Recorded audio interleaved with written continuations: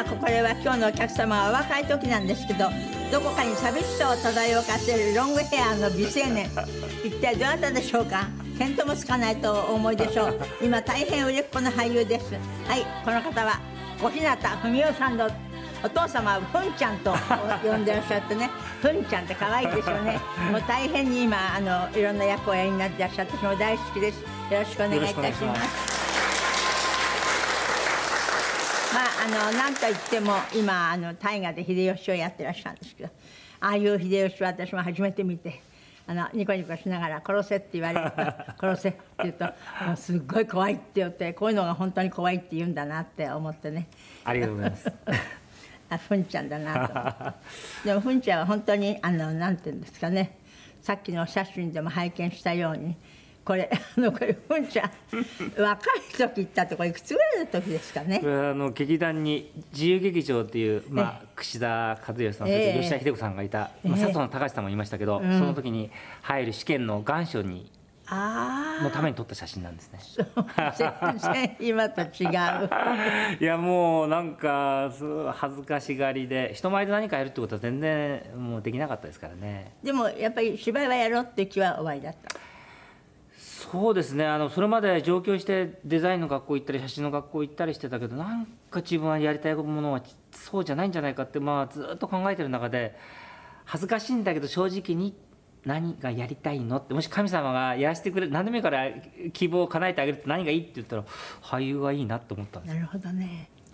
当時の写真あるんですけど本当にあの時代がよくわかるっていう写真 よくちゃんとお撮りになります。これ。これはねあの写真学校に入ってる時ですからあそうなんですか。二十歳か21どっちかですね、あのこれはね学校の前のまだ電話ボックスの前で電話ボックスの前でね。友達に写真を友の S を履いてました。かいや本当に痩せてるいや本当もうね女の子のやつ随分ねうん でも随分あれですよね。やっぱりこの眼鏡といい髪の毛といいやはりおしゃれなね当時の若者の。いやー。でもこんなぐらいのあなただったんだけど息子さんはもう大きくなっちゃって。そうなん大学です3年と。今、えー、と長男が大学3年で次男が高校3年生ですね。でなんか演劇部なんか。そうなんですよ。そうなんですね。いやもうまあ別に進めたわけじゃないんですけれど、ええ。気が付いたらやっぱりあの大学の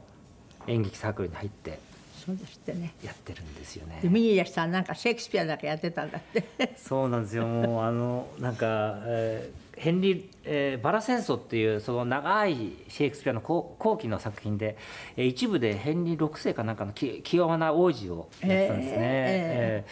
ーまあ、それを一回まあ芝居全然僕見てなかったんでに息子の。見に行きましたね、結構堂々と。堂々と登場してきたんであなかなかやるなと思って。僕はあのそれこそ自由劇場に入った時ええ。の最初のセリフ一言でしたから、いただいたセリフが。何だったんですか役は？えっ、とお百姓その1でしたね。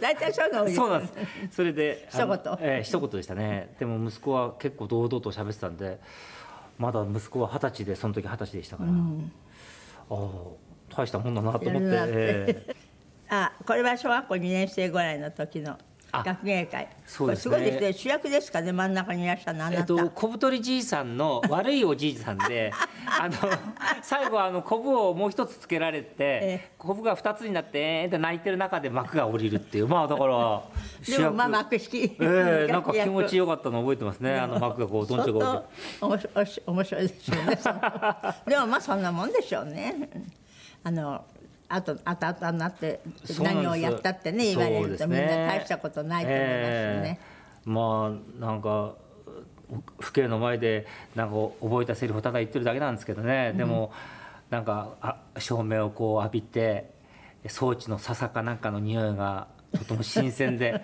まあでも自分がね将来役者やるなんてこれっぽっちもあなるほどね。思ってないです。でもデザインの専門学校にはい、あのー、18で、えーとまあ、高校の時そのえ油絵を描いて美大に行きたかったけどとにかく他の勉強は全くダメなもんだから 大学が無理だって言われてそれで、まあじゃあ専門学校っていうんでここのあのあお茶の水の専門学校でまだあの18卒業して上京した時の夏休みですね、えー。うん18ですこれは本当にも あのそうですか、ええ。じゃあできればまあ絵描いたり。そうなの。ところがすその年の冬にスキーに行って複雑骨折しちゃって。なんてことでしょそうなんです、ん。それでにもう2年間棒に振っちゃったんですね手術の繰り返しで。まあ人生そこで狂ったみたいだけど、まあ。結局は結果においてはね。そうなんですね、うんそれが良かった。お前の進む道はそっちじゃないよって言ってなんかコテンって倒されたような。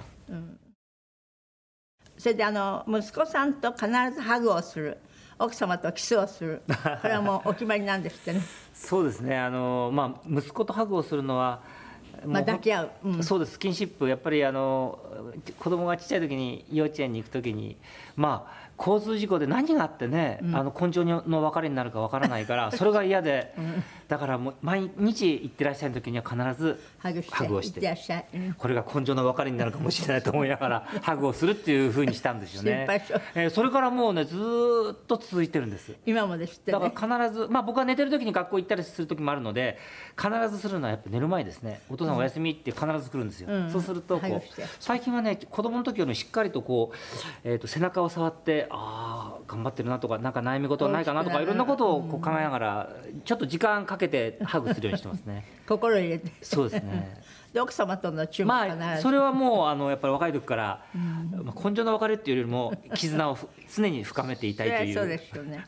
もうご結婚なすって何年ですか？えーっと何年かな、えーっと22年ぐらい経ちますかね。そうですね。子供ははいそんな大きい、そうですね。だったんで22年経ちましたね。なるほどね、えでもあのお父様は非常にふんちゃんって言ってあの可愛がってくださったんです 可愛い甘い甘かったですね。僕は父にほとんど怒られた記憶がないし、どんなに成績が悪くても笑っていつも。あこれね可愛いんですよああそうなんですこれ。ふんちゃん真ん中？そうです。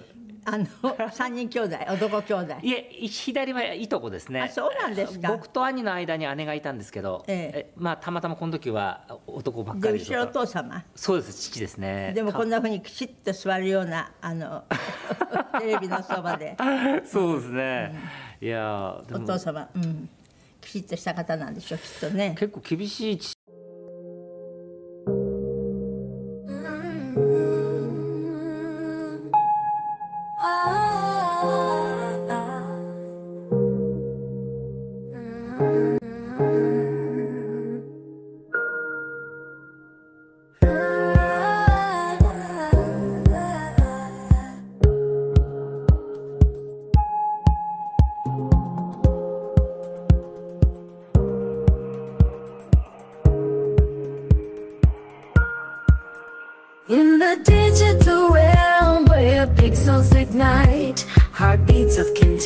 a narrative takes flight.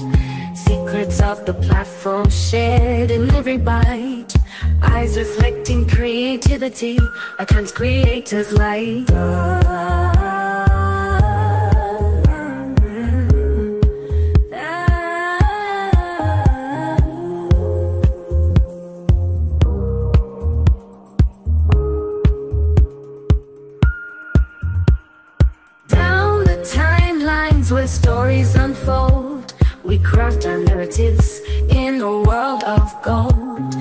兄には厳しかったんですけど僕には甘かったですね。もう成績悪くてもずっと笑いながら「ふんちゃん本当に勉強が嫌いなんだね」って笑ってましたから。ええもう本当に。じゃあお父様あなたが俳優になって、まあ、いろんな役をやりになるようになったらそその時はえーとね最後に父が僕の芝居を見たのは初めて大河ドラマに出た時なんです。あそうそれの1話を見て倒れたんですけどその1話のセリフも一言だったんです「はかしこまりました」っていうセリフだけだったんですけどあら。それでたまたま長男が生まれて間もなかったんだけど女房に「間もなく出るぞ俺間もなく出るぞ」って時子供がうわーってシーってやった時にはもう終わっちゃ終わってたんですよね。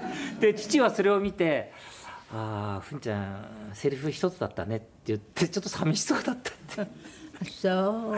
それがそれを見て倒れたんですね。あの見て倒れたっていうかその月に、えーえー脳梗塞で倒れた。じゃあ今のふんちゃんなんかご覧になったらねあんな次々次々いろんなものお出になっても。まあまあ、あんなに勉強できなかったふんちゃんがちゃんと自立できてよかったねっていうふうに 思ってくれてるかな。そうですそりえそうでしょうね。心配だったと思いますようん本当に心を打つ演技はこういうのだってきっと分かってくださったと思いますよねでもそれにしても三谷幸喜さんはあなたのこととってもあのひいきにしてらっしゃると思うんですけど「国民の映画」というはい書き下ろし。そうなんです。これはとても怖い。それこそ怖い。そうですね。ナチスの、えーえー映画宣伝のゲッペルスっていう役を当て書きしほてくださと。んどっヒトラーのそばにいて。たそうです。全部そういう宣伝でやってった国民をや操ってたっていう人をね。そそれちょっと舞台のあの映像がちょっとあるのでふんちゃんのゲッペルスをちょっと見せていただきますね 日村長官がまだ屋敷の中にいる。お怖いフリッツのこと十分気をつけろ。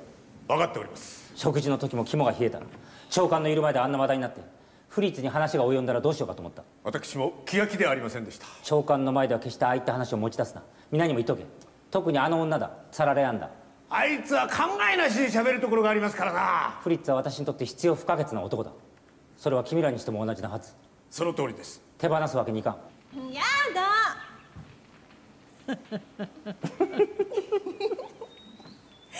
君のそういったところは決して嫌いではない。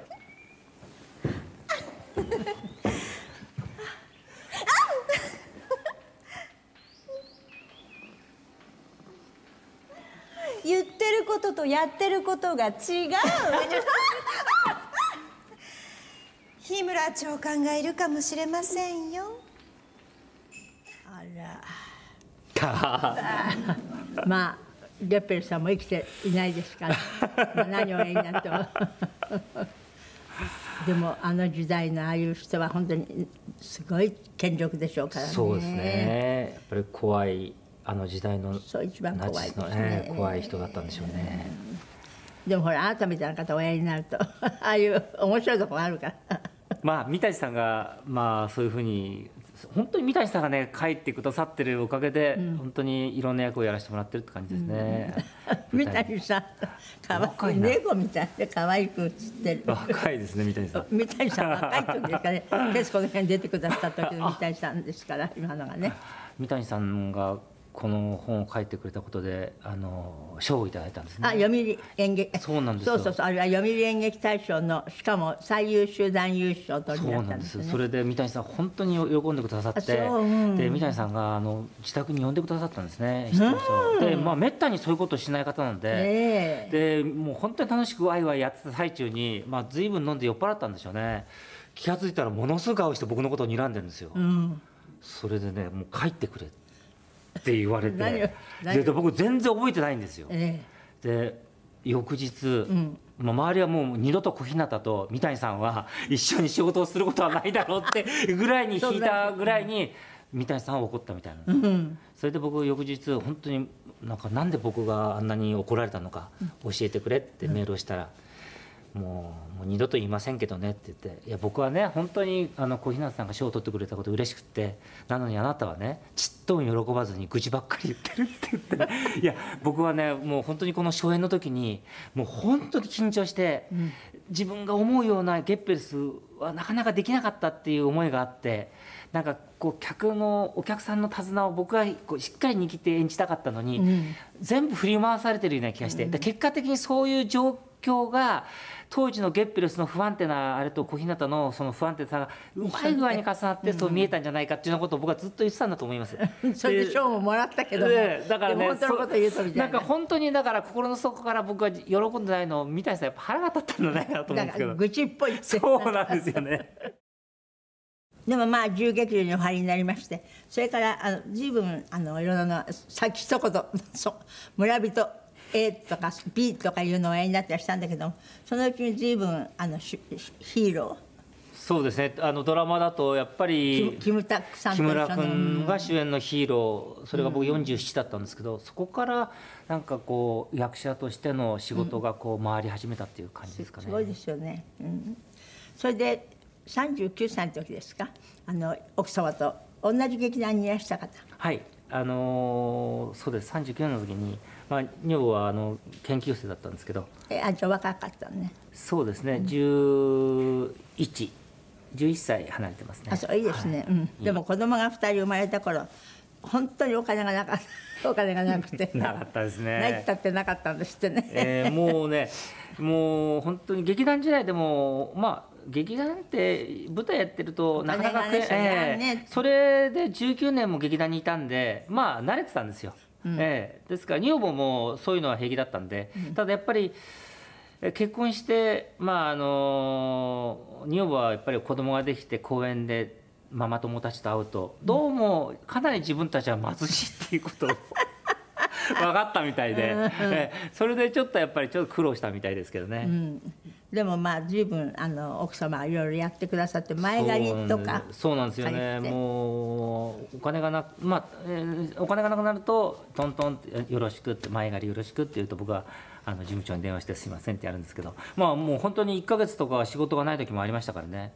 まあそういう時にやっぱり女房がこう部屋の中で掃除をしてるとねあの僕をこうまた またぐたびに僕にカツンカツン当たるんでなんかなんか文句言いたいのかなと思ってまああの文句言いたいならねはっきり口に出して言えじゃないかって言われて人にぶつからないないでというようなこと言ったことあるんですよ。まあ、女房は仕事がない僕がそういうふうにどんどんマイナス思考になってるのを見て、まあ、同情してくれたんでしょうね。なんか、まあ、ふっと僕をこうハグしてかわいそうにって言ってくれましたね。なんか。まあだから仕事がなくてただ寝転がってるとそこ電気センター電気ない掃除機がトンと当たったりするとなんか言いたいことがあれば言えよってこう言ったりした時に奥様が何にも言わないでぐっと抱きしめてくれたなんていうのは本当によく分かってらっしゃる方ですよね。なんかもう悲しくなっちゃう涙が出ちゃうぐらい優しい方だと思いますしね。いいご結婚だったと思いますよね。そこまで分かって十分あなたがそこで何か言えよって言ってるイライラしてる気持ちはお分かりだったでしょ。そしたら大概の人はするつもりはなかったわよとかあなたがそのとこ寝転がってるからじゃないとかね島には仕事がないからじゃないとかっていろいろあるかもしれないけどそういうこと一切なく黙って抱いてくださったっていうう奥様の優しさみたいなねよく理解し合ってるっていう。そうですねまあ仕事がなくてあのまあ子供たち仕事がないおかげで子供といる時間ずいぶんまあちっちゃい時にあったからそれはそれで僕の中ではね、あの これもいいじゃないかなって自分で言い聞かせたんですけど でもやっぱり煮詰まってたんでしょうね。女房はそれ分かってたんでしょうね。お金ないとねやっぱり。いやいや本当そうですよね、今だから笑って言える話で。本当ねでもなんとかなるさっていう気持ちだったんでしょ当時はね。そうですね、でもそんな考えてみるとそんな大昔の話じゃないんですよね 本当に。そうですよね。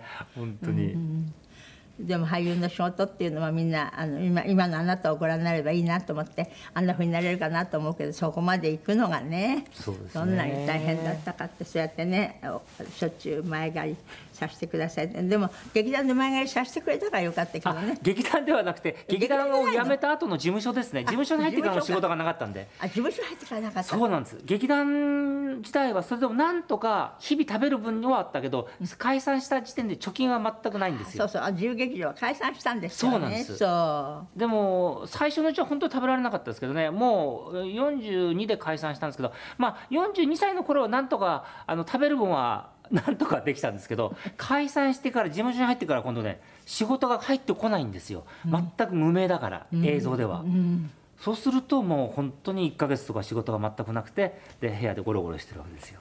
そしてヒーローまでですかね。ヒーローまでヒーローが47ですから5年間。まあたまに会ったりあとたまに舞台やったりとかっていうことやってましたけどいわゆるもう毎日毎日仕事に追われるっていう状態じゃなかったです。だからあのヒーロー以来そうです。もうバーンと仕事を続けたまでしょうけど。40まあ極端なこと言うと47からこう回り始めた感じですね。でもあのヒーローあの木村拓木木村拓哉さんのはい。ヒーローで、あんなにあの なんていうんですかねあのな有名におなりになるとはまた思わなかったしいや全然思ってないですね、さてびっくりすることには前にもちょっと伺ったんですけど中村雅俊さんの付き人をやっていらっしゃいましたね。